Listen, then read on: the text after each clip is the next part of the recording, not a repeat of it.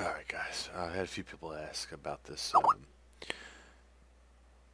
TGA to a PAA conversion bat file that um, I did not make actually. Snakeman, I believe, is the original creator of it. The only thing I did was just add the uh, extra lines and to allow for uh, if you wanted to export or convert your um, sat normal map.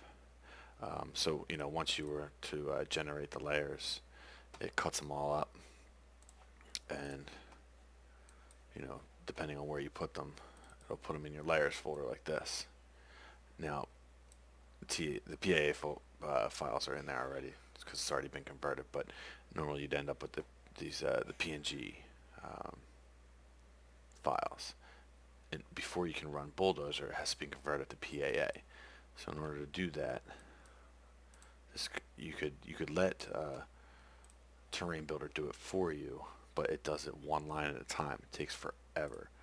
So what you can do here, you need Pal2PacE exe. You need the um, the DL that goes with that, as long as well as this convert PA bat file that we created, um, and you drop it into the uh, folder before your layers. So here's the layers here.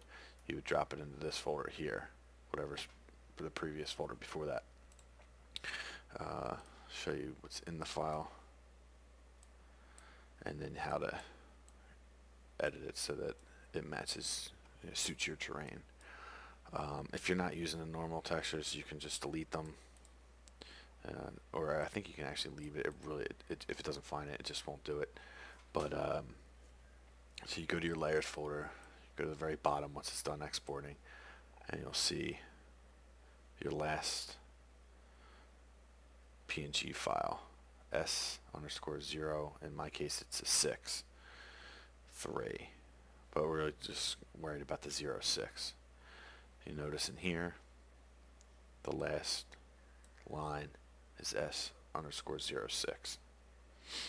Now, if it was if it was more than that, you could add another line like this. You know, just change you can just change it, you know, this. If it was 7 or 8, depending on however, if you needed to add more lines, you know, it's not that complicated. You just add a couple more lines. Um, you know, then you just close it, save it, whatever. And then you just run it. And it'll run through and convert all your textures. And it runs multiple instances at once and I'm telling you, it really cuts down on the time. I mean, it can take a 30 minute conversion down to like five. It's crazy. So, I mean, I recommend doing it this way just because it's way faster. It saves you a lot less time sitting around. But anyway, that's how that's how you do it. Uh, I believe